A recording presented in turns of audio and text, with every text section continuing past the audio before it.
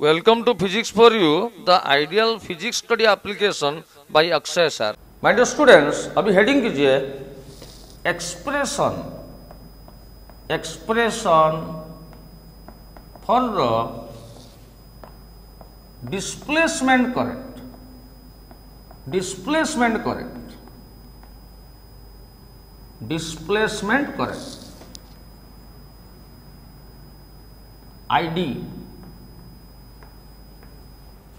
देखिए, इसका पहले मैं डेरिवेशन करता हूँ, उसके बाद आपको मैं उसका डेफिनेशन दूँगा। देखिए एक्चुअली क्या होता है, एक कैपेसिटर जब, ये प्लेट ये एक another plate of the capacitor letter मान लीजिए, ये प्लेट का एरिया ए है। ये रेक्टेंगुलर प्लेट है, उसका एरिया ए है। जब हम कैपेसिटर को चार्ज करेंगे, यानी कि बैटरी के साथ कनेक्शन करेंगे थ्रू ए की एक्चुअली जब की ऑन होगा यहाँ से पॉजिटिव चार्ज आएगा, प्लस क्यू चार्ज, और नेगेटिव से माइनस क्यू चार्ज आता है, आप कैपेसिटेंस चैप्टर में पढ़ चुके हैं। तो प्लस क्यू चार्ज इधर स्टोर होगा, माइनस क्यू चार्ज इधर स्टोर होगा। एक्चुअली चार्ज धीरे धीरे स्टोर होगा। तो कुछ चार्ज स्टोर होगा, फिर और एडिशनल चार्ज स्टोर होगा, फिर धीरे धीरे चार्ज स्टोर होगा। ये नहीं है कि चार्ज पूरा गया और स्टोर हो गया। जैसे मैं पढ़ाता हूँ, आपको धीरे धीरे आपके माइंड के अंदर स्टोर होता है। ऐसे चार्ज धीरे धीरे धीरे धीरे स्टोर होता है। Let's say at any instant एक टाइम है पर्टिकुलर टाइम है, इसमें प्लस क्यू चार्ज स्टोर हुआ, इसमें माइनस क्यू चार्ज स्टोर होगा। तो उस टाइम उसको कैपेसिटर हम बोलेंगे। तो जिधर प्लस ये जो चार्ज है, ये एक टाइम में पर्टिकुलर टाइम में ये वैरी करता है। पहले ज़ीरो चार्ज उसके बाद one column two column three column four column समझ गए? मैं से एग्ज़ाम्पल दे रहा हूँ। तो ये पॉजिटिव प्लेट बन गया। ये नेगेटिव प्लेट बन गया। ये जो चार्ज है ना चार्ज पूरा एरिया में डिस्ट्रीब्यूट हो गया। तो ये प्लेट का एक सरफेस चार्ज डेंसिटी होता है सिग्मा जिसको बोलते हैं। सरफेस चार्ज डेंसिटी मतलब total charge by total area total charge by total area में मतलब क्यू बाई है। तो इस प्लेट का सरफेस चार्ज डेंसिटी क्या होगा? Total charge by total area इसका भी एरिया ये है। टोटल चार्ज है माइनस क्यू बाई है तो इसका सरफेस चार्ज में माइनस सिग्मा है। ये एक प्लेट है, या सीट है, ये भी एक सीट है। एक्चुअली हम जानते हैं, मैं आपको थियोरिटिकली बता रहा हूँ। एक्चुअली चार्ज के वजह से, आप जानते हैं चार्ज के वजह से इलेक्ट्रिक फ़ील्ड बनता है। और इलेक्ट्रिक फ़ील्ड का डायरेक्शन पॉजिटिव से आउटवर्ड होता है और नेगेटिव को इनवर्ड होता है। ऐसे ऐसे। चार्ज के वजह से इलेक्ट्रिक फ़ील्ड पड़ता है। तो इलेक्ट्रिक फ़ील्ड ऐसे होगा। ये पॉजिटिव प्लेट के वजह से इलेक्ट्रिक फ़ील्ड आउटवर्ड पड़ेगा। प्लेट के वजह से या सीट के वजह से इलेक्ट्रिक फ़ील्ड का एक्सप्रेशन है sigma by two epsilon zero तो इसके वजह से sigma by two epsilon zero इसके नेगेटिव प्लेट के वजह से भी इनवर्ड होगा sigma by two epsilon zero तो टोटल एक इलेक्ट्रिक फ़ील्ड रहेगा। Sigma by epsilon zero. Charge electric field charge के वजह से पड़ता है तो चार्ज तो वैरी कर रहा है ना। चार्ज धीरे धीरे धीरे धीरे स्टोर हो रहा है तो इलेक्ट्रिक फ़ील्ड भी वैरी करेगा। चार्ज के वजह से इलेक्ट्रिक फ़ील्ड पड़ता है। तो चार्ज जो वैरी करेगा इलेक्ट्रिक फ़ील्ड वैरी करेगा। और मैक्सवेल ने बताया, फैराडे लॉ हमको बताया था लास्ट वीडियो में हम देखे थे मैग्नेटिक फ़ील्ड चेंज होगा तो इलेक्ट्रिक फ़ील्ड प्रोड्यूस होता है। एंड इलेक्ट्रिक फ़ील्ड चेंज होगा तो इधर मैग्नेटिक फ़ील्ड भी प्रोड्यूस होता है। हमको मैक्सवेल ने बताया। तो मैग्नेटिक फ़ील्ड जो प्रोड्यूस होता है, उस मैग्नेटिक फ़ील्ड प्रोड्यूस होने का मतलब है कोरेंट जा रहा है। एक्चुअली कोरेंट के वजह से ही मैग्नेटिक फ़ील्ड पड़ता है। हम पढ़ चुके हैं magnetic field due to electric current और एक्सपेरिमेंट पढ़ चुके हैं बायोट साबास लॉ पढ़ चुके हैं आम्पियर सर्किटल लॉ पढ़ चुके हैं। तो मैग्नेटिक फ़ील्ड एक्चुअली पड़ता है किसके वजह से? करेंट के वजह से। उसी करेंट को हम डिस्प्लेसमेंट करंट बताएँगे। तो क्या मैं बताया आपको? तो displacement current is that current which produce in a region where electric field changes electric field change के वजह से मैग्नेटिक फ़ील्ड पड़ता है। मैग्नेटिक फ़ील्ड पड़ता है किसके वजह से? करेंट के वजह से। उसी करेंट को बोलते हैं डिस्प्लेसमेंट करंट अच्छा समझ गए मेरी बात? उसका, ये, इसका एक्सप्रेशन में बता रहा हूँ। देखिए, हम जानते हैं we know that we know that पहले ये फिगर बना लीजिए पॉज करके वीडियो को।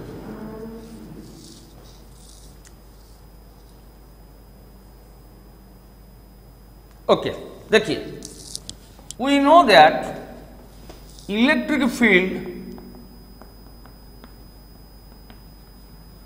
due to a charge sheet of surface charge density charge density sigma surface charge density का मतलब है total charge by total area etch देखिए, ये एक सीट है। शीट का सरफेस चार्ज में सिग्मा मतलब ये पॉजिटिव चार्ज है। माइनस सिग्मा होता तो माइनस चार्ज है। सीट के वजह से यहाँ इलेक्ट्रिक फ़ील्ड पॉजिटिव के वजह से आउटवर्ड पड़ेगा कितना पड़ता है? आप जानते हैं sigma equal equal to sigma by two epsilon zero जिसका एक डेरिवेशन हमने गॉस लॉ में किए थे। यदि आप ये नहीं जानते हैं वेरी इंपोर्टेंट लॉन्ग क्वेश्चन है, आपका बोर्ड के लिए आप गॉस लॉ चैप्टर को फॉलो कीजिए। मेरा वीडियो है गॉस लॉ एक नया चैप्टर है। उस वहाँ पर देखिए ये लॉन्ग क्वेश्चन में दिया हूँ, आप समझिए। तो मैं क्या लिखा? Electric field due to a charge sheet of surface charge in sigma is is equal to sheet के वजह से इलेक्ट्रिक फ़ील्ड पड़ता है sigma by two epsilon zero तो इस सीट के लिए इलेक्ट्रिक फ़ील्ड पड़ेगा। देखिए ये कैपेसिटर है। कैपेसिटर का दो प्लेट इसका सरफेस चार्ज प्लस सिग्मा इसका माइनस सिग्मा तो इसके इस प्लेट के वजह से इलेक्ट्रिक फ़ील्ड आउटवर्ड बढ़ेगा। कितना? ई वन ई वन कितना होगा? Sigma by two F zero देखिए so electric field due to the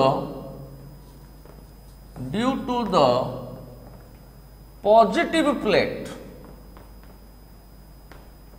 in between the capacitor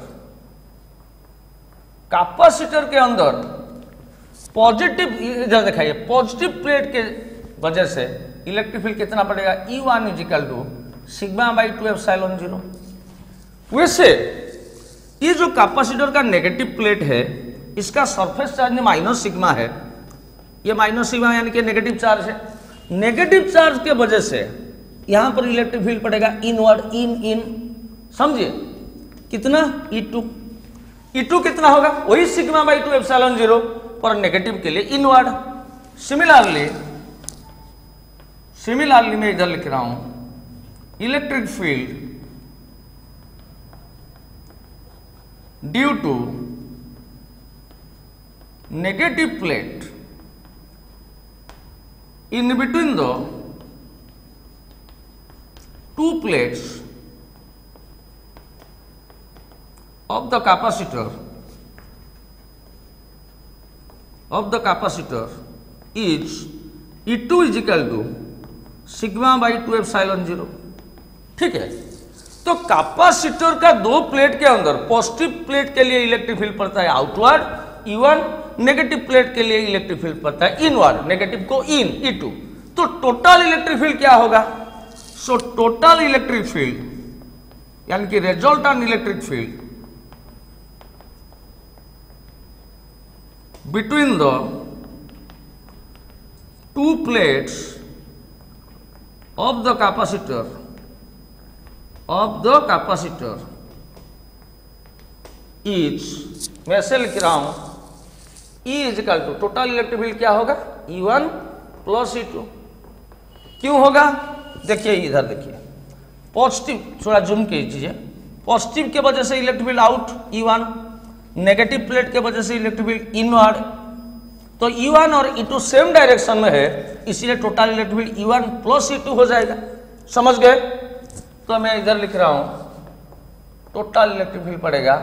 E1 के जगह में sigma by two epsilon zero लिखा प्लस E2 के जगह by sigma by two epsilon zero लिखा। Implies E is equal to sigma by two epsilon zero plus sigma by two epsilon zero ये हो गया two sigma by two epsilon zero. Implies E is equal to two two cancel हो गया only sigma by epsilon zero. ये भी आप जानते हैं। मैं अब इसको भी एक ऑब्जेक्टिव क्वेश्चन आपको पूछा था जनरली पूछता है what is the electric field between the two plates of a parallel plate capacitor आप बताएँगे सिग्मा बाई एफ़ एप्सिलॉन ज़ीरो। सिग्मा क्या होता है? सरफेस चार्ज डेंसिटी इसका मतलब है total charge by total area implies C is equal to sigma के जगह में total charge by total area लिखा। और नीचे है एप्सिलॉन ज़ीरो समझ गया मेरे बात? देखिए चार्ज वैरी कर रहा है, इसीलिए इलेक्ट्रिक फ़ील्ड भी वैरी कर रहा है। E is equal to Q by epsilon zero capacitor में कैपेसिटर में चार्ज धीरे धीरे स्टोर हो रहा है। तो चार्ज वैरी कर रहा है, इसलिए electric field Q by A epsilon zero charge vary करेगा चार्ज वैरी करेगा तो इलेक्ट्रिक फ़ील्ड वैरी करेगा। समझ गए मेरी बात? अभी यहाँ से यहाँ तक लिख दीजिए। यहाँ से यहाँ तक वीडियो को पॉज करके।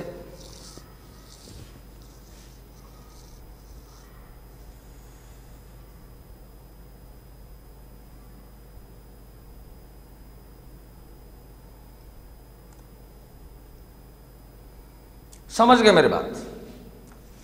अच्छा। मैं इसको इरेज करता हूँ।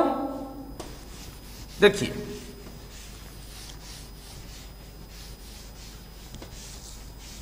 तो एक्चुअली क्या होता है? कैपेसिटर में, ऐसे ही हुआ था। ये कैपेसिटर का मैं डायग्राम कर रहा हूँ। यह है पॉजिटिवली चार्ज प्लेट उसका surface charge density plus sigma या सिग्मा ये नेगेटिवली चार्ज प्लेट उसका surface charge minus sigma and plate का एरिया है ए और यहाँ पर इलेक्ट्रिक फ़ील्ड इसके वजह से आउटवर्ड पड़ेगा sigma by two epsilon zero और नेगेटिव प्लेट के वजह से इनवर्ड पड़ेगा सिग्मा बाई एप्सिलॉन ज़ीरो तो टोटल इलेक्ट्रिक फ़ील्ड पड़ता है राइट को कितना पड़ता है? अभी हमने देखे Q by A epsilon zero या सिग्मा बाई एप्सिलॉन ज़ीरो समझ गए?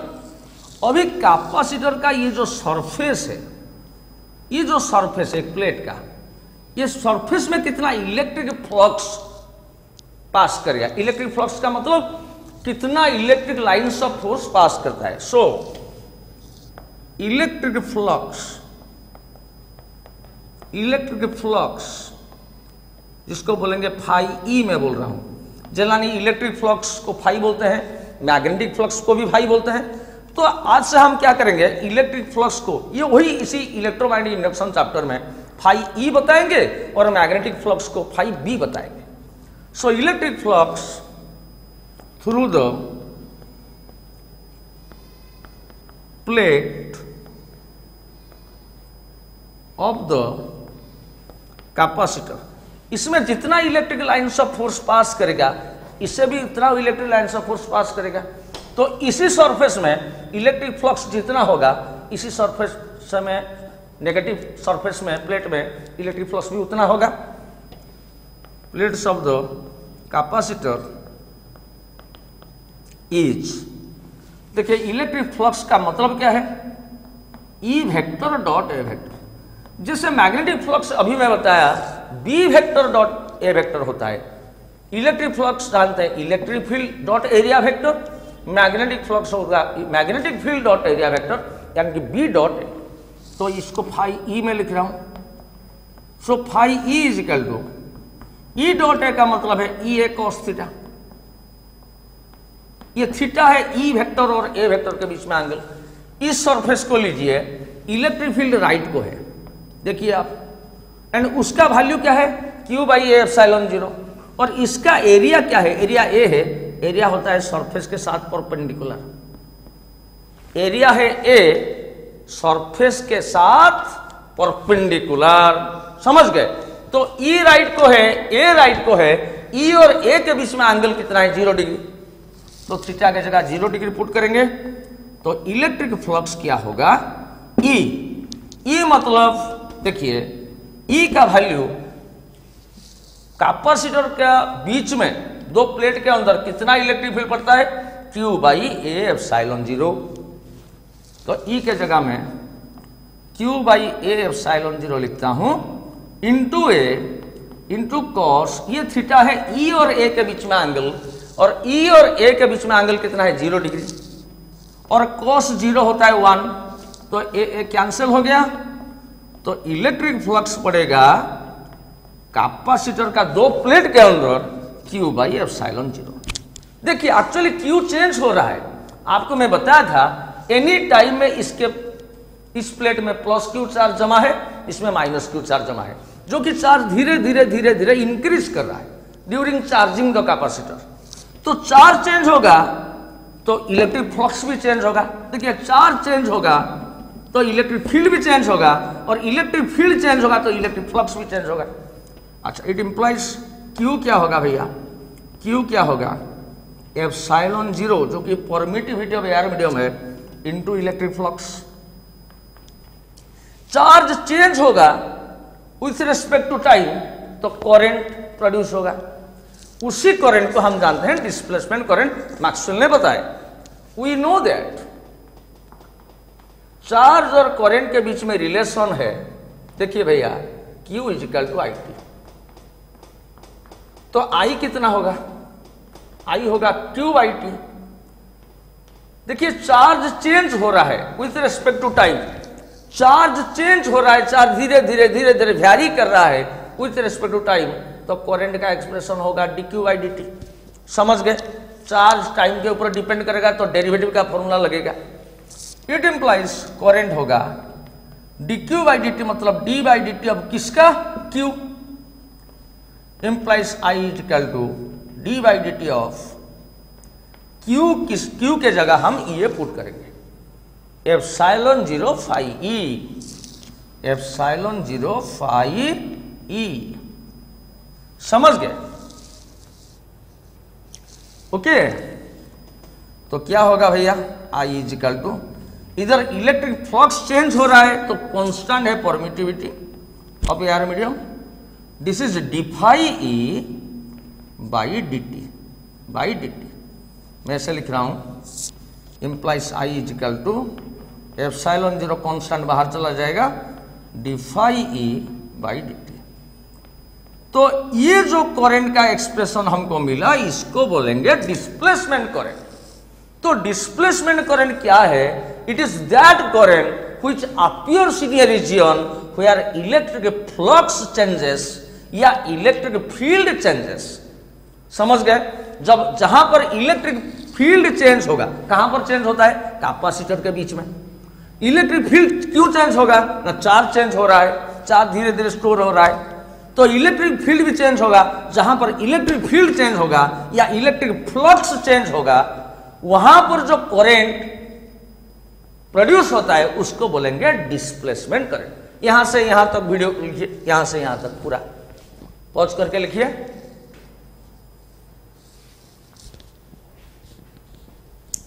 पॉज करके लिखिए।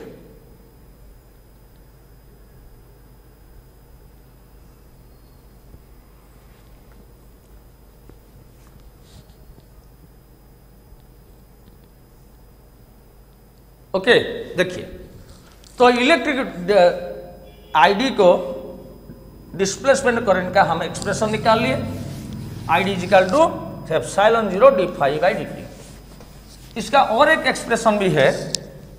देखिए since I D is equal to epsilon zero d phi E by d t d phi क्या है? ये फाइव ई क्या है? इलेक्ट्रिक फ्लक्स इंप्लाइज ऐसे भी एक आदमी लिख सकता है। D by d t of phi E phi E का मतलब क्या है? इलेक्ट्रिक फ्लक्स का मतलब है फाइव ई इलेक्ट्रिक फ्लक्स मतलब electric field dot area. I D is equal to epsilon zero d by d t of electric field flux का मतलब है इलेक्ट्रिक फ़ील्ड डॉट एरिया पर इलेक्ट्रिक फ़ील्ड और area के बीच में इधर एंगल कितना है? देखिए इलेक्ट्रिक फ़ील्ड और एरिया के बीच में एंगल कितना था? ज़ीरो डिग्री तो ई डॉट ए का मतलब है ई ए कॉस थीटा यानी कि कॉस ज़ीरो तो डिस्प्लेसमेंट करंट का एक्सप्रेशन होगा epsilon zero d by d t of E A cos zero degree तो कॉस ज़ीरो होता है वन तो एरिया कांस्टेंट प्लेट का एरिया कांस्टेंट बाहर चला जाएगा। तो I D is equal to epsilon zero cos zero one है। एरिया भी बाहर चला जाएगा। क्या बचा क्या डीई बाई डी टी। समझ गए? तो दो दो इस फॉर्मूला आपको मैं दे रहा हूँ डिस्प्लेसमेंट करेंट का। इसको आपको याद रखना है। तो displacement current is that current which appears in a region where electric field changes with time और electric flux changes with time ये कर दीजिए।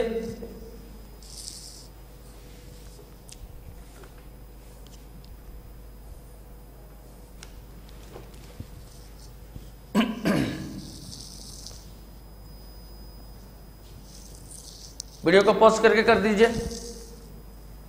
अभी नीचे लिखिए, so so displacement current heading कीजिए सो डिस्प्ले लिखिए, सो डिस्प्लेसमेंट करंट ब्रैकेट के अंदर आईडी डिस्प्लेसमेंट करंट ब्रैकेट के अंदर I D is that current is that current which appears in a region which appears in a region कहाँ पर होगा होगा इलेक्ट्रिक फ़ील्ड जहाँ चेंज होगा और इलेक्ट्रिक फ्लक्स जहाँ चेंज होगा which appears in a region where where electric field electric field hence electric flux electric field bracket के अंदर ई e लिखिए ई e लिखिए। इलेक्ट्रिक फ़ील्ड ब्रैकेट के अंदर ई कैपिटल ई ऐसे ऐसे। And hence hence electric flux bracket के अंदर phi E phi E changes phi E changes और भ्यारी विथ टाइम चेंजेस और vary with time with time और डिस्प्लेसमेंट करंट का एक्सप्रेशन लिखिए। लिखिए so I D is equal to लिखिए I D is equal to दो formula है epsilon zero d phi E by d t एक ये फॉर्मूला फाई क्या है? इलेक्ट्रिक फ्लक्स है। हो यार लिखिए लिखिए मेरे साथ। Phi E is electric flux epsilon 0 is permittivity permittivity of air medium of vacuum लिखिए vacuum और दूसरा एक्सप्रेशन है displacement current epsilon zero A into इधर ए कर देंगे this is d E by d t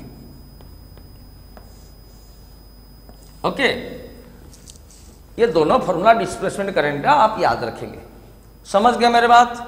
जहाँ पर इलेक्ट्रिक फ़ील्ड चेंज होगा या इलेक्ट्रिक फ्लक्स चेंज होगा, वहाँ पर जो करेंट अप्योर होगा, यानी कि फ्लो करेगा, उसको बोलेंगे डिस्प्लेसमेंट करेंट उसका एक्सप्रेशन आपको याद रखना है।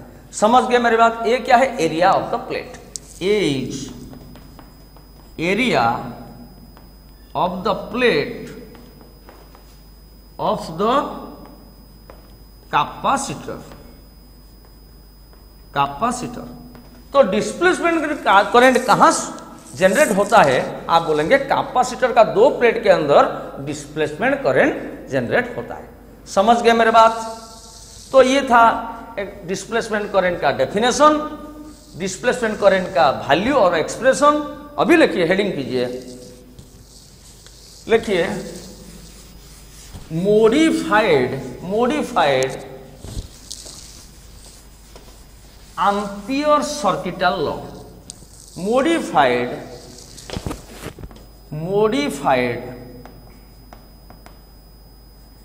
amperes circuital law इसको बोलेंगे Maxwell Ampere's law Maxwell's Ampere's law देखिए, इसका एक्सप्रेशन आप याद रखेंगे। जनरली एम्प्योर सर्किटल लॉ में क्या था? We know that Ampere circuital law ये है B vector dot dl vector का closed integration is equal to mu zero I enclosed I enclosed का मतलब है total current enclosed within the Amperian loop तो एक्चुअली कैपेसिटर का दो plate के बीच में ये जो वायर है, ये जो वायर है वायर के थ्रू कौन सा करंट जाता है? कंडक्शन करंट पर कैपेसिटर के थ्रू कौन सा करंट जाता है? डिस्प्लेसमेंट करंट ये दो सेम है। ये दो इस फिगर में सिचुएशन में सेम है। तो ये जो आई एनक्लोज है, ये ऑर्डिनरी करंट कंडक्शन करंट नहीं है, इसका मतलब है एम्पियर सर्किटल लॉ को मैक्सवेल ने चेंज किया, कुछ मॉडिफाई किया। आई एनक्लोज का मतलब है कंडक्शन करेंट यानी कि total current plus displacement current total current का मतलब है कंडक्शन करेंट नहीं ओनली ट्रेडिशनल करेंट नहीं। दो करंट का sum. Conduction current plus displacement current it implies closed integration of B vector dot dl vector is equal to mu zero conduction current को ordinary current बोलते हैं। Plus displacement current का expression है epsilon zero A d E by d t आप जानते हैं। This is modified Ampere circuital law और Maxwell Ampere's law लिख लिए। लिख लीजिए दिस इज़ आईसी आईसी मतलब कंडक्शन करेंट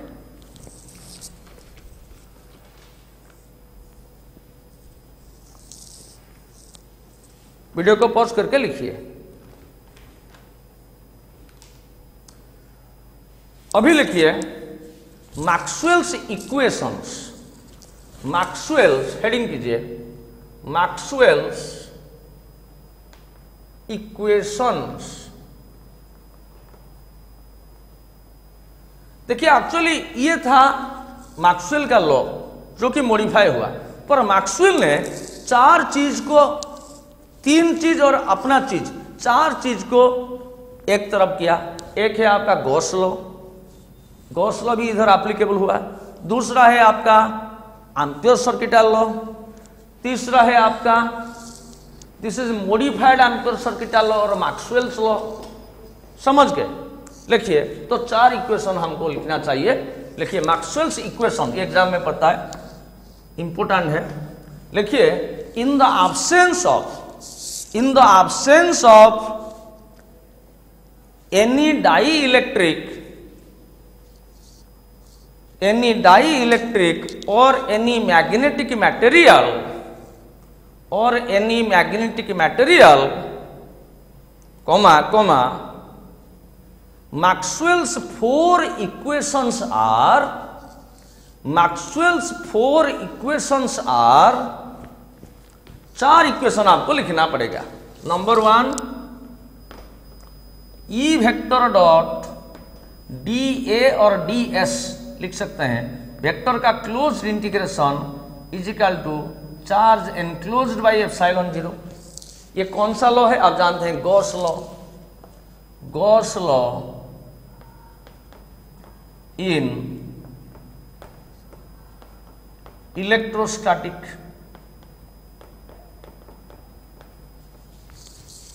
second लिखिए second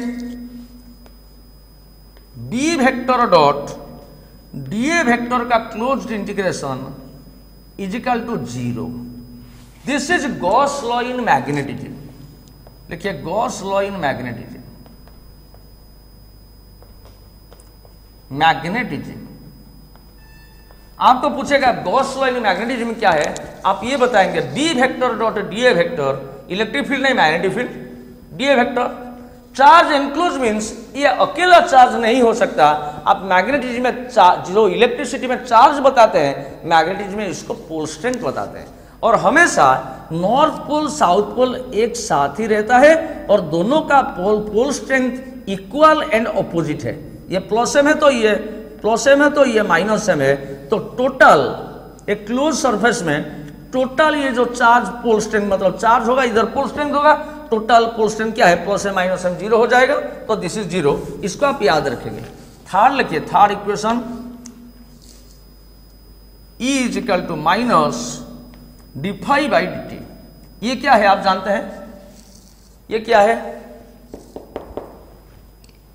Faraday's laws of electromagnetic induction ये फाई क्या है? मैग्नेटिक फ्लक्स यानी कि फाई बी ये फाई बी लिखिए।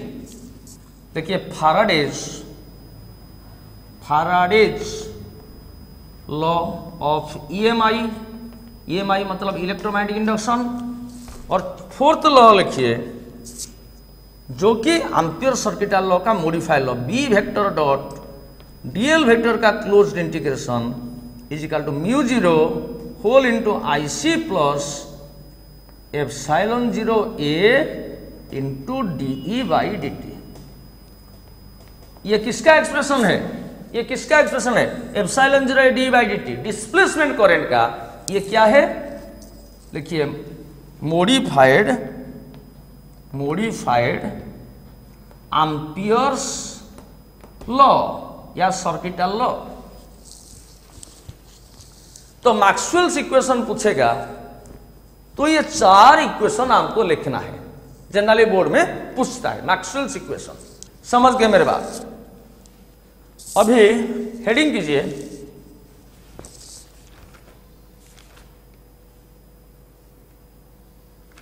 अभी हेडिंग कीजिए। लिखिए properties of electromagnetic waves properties of electromagnetic wave properties of electromagnetic waves electromagnetic wave का प्रॉपर्टी मैं आपको दो चार प्रॉपर्टी देता हूँ। तो पहला प्रॉपर्टी लिखिए।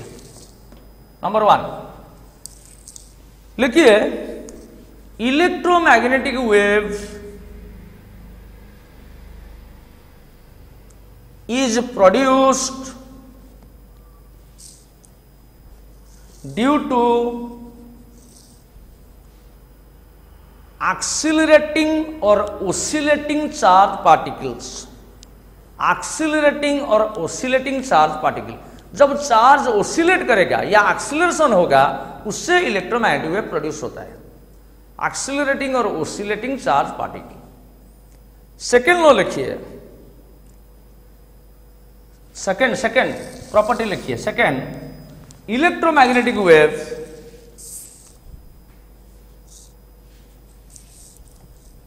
do not require do not require any material medium any material medium for propagation for propagation for propagation propagation यानी कि मोशन इलेक्ट्रोमैग्नेटिक वेव वैक्यूम में भी जा सकता है, एयर में भी जा सकता है, आपका मेटल के थ्रू भी जा सकता है, किसी भी चीज़ के थ्रू जा सकता है, मीडियम होगा तो चलेगा, मीडियम नहीं होगा तो भी चलेगा। नंबर थर्ड प्रॉपर्टी लिखिए। मैं आपको properties of each wave electromagnetic wave में बताया था रेडियो वेव का प्रॉपर्टी यूजेस अभी जनरल प्रॉपर्टी में बता रहा हूँ। देखिए electromagnetic wave is transverse in nature electromagnetic wave is transverse in nature. Is transverse in nature इसका मतलब क्या है? ट्रांसवर्स वेव क्या है? मैं बता रहा हूँ। सुनिए। ये एक वेव है। एक्चुअली वेव अभी वेव लेफ़्ट से राइट को जा रहा है।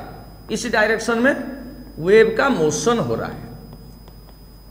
पर वेव किसके वजह से है पार्टिकल वाइब्रेट करेगा तो वेव प्रोपागेट करेगा मैं आपको बता चुका हूँ ये एक पार्टिकल है तो लेटो से एस से वाइब्रेट किया ये पार्टिकल ऐसे ऐसे वाइब्रेट किया ये पार्टिकल ऐसे ऐसे वाइब्रेट किया ये पार्टिकल ऐसे ऐसे वाइब्रेशन हुआ ये पार्टिकल एस ऐसे वाइब्रेशन हुआ तो देखिए पार्टिकल जिधर वाइब्रेट कर रहा है वेव उसका परपेंडिकुलरली प्रोपागेट कर रहा है इसी वेव को ट्रांसफोर्स वेव बोला जाता है समझ गए ये फिगर बना लीजिए इस डायरेक्शन में vibration of the particle vibration of the particles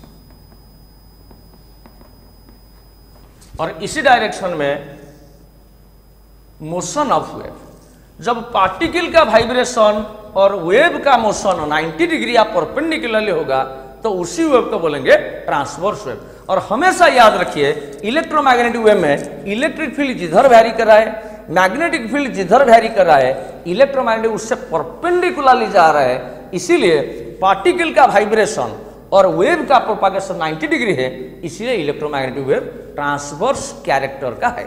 समझ गए मेरे बात? नेक्स्ट लिखिए property the speed of electromagnetic wave the speed of electromagnetic wave in vacuum in vacuum is nearly equal to nearly equal to the speed of light the speed of light that is c is equal to 3 into 10 to the power 8 meter per second. Elect electromagnetic wave vacuum में light का speed में travel कर। रहा है ये भी हम discuss कर चुके हैं। अभी नीचे लिखिए, उसका नीचे the expression the expression for the speed of electromagnetic wave is C is equal to नहीं electromagnetic wave in vacuum is लिखिए in vacuum V S C U U M vacuum का स्पेलिंग ठीक करिए. V S C U U M is C is equal to one by mu zero epsilon zero का root over इसको आप याद रखेंगे. Mu zero क्या है? Permeability of air medium vacuum epsilon zero है परमिटिविटी ऑफ़ एयर मीडियम तो यार म्यू ज़ीरो इज़ परमिटिविटी जो परमिएबिलिटी लिखिए परमिएबिलिटी परमिएबिलिटी ऑफ़ वैक्यूम जिसका वैल्यू आपको पता है four point into ten minus seven epsilon zero is permittivity of vacuum permittivity of vacuum vacuum तो वैक्यूम में इलेक्ट्रोमैग्नेटिक स्पीड वेव का स्पीड है one by mu zero epsilon zero का root over वैसे अदर मीडियम में, लिखिए. Next property लिखिए. Number पाँच, लिखिए. The speed of electromagnetic wave in any other medium, in any other medium is, ये लिखिए, v is equal to one by mu R epsilon R का root over v is equal to one by mu R epsilon R का root over box के अंदर रखिए, हो यार हो यार लिखिए। Mu R is relative permittivity relative permittivity of the medium of the medium F epsilon R is relative permittivity of the medium यह है रिलेटिव परमिएबिलिटी लिख देंगे। Mu R he is relative permeability of the medium and epsilon R is relative permittivity of the medium फिर और एक लिखिए। और एक बात लिखिए। तो ये था प्रॉपर्टी आपका इलेक्ट्रोमैग्नेटिक वेव्स के बारे में। Okay? Thank you very much